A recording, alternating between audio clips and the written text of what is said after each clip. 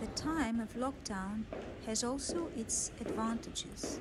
For example, if you are interested to see the interior of such world famous landmarks as the Royal Palace of Schönbrunn, normally visited by more than 10 millions of people every year, I can enjoy the historic rooms and the perfectly restored furniture of the royal family alone without being pushed around by tourist groups.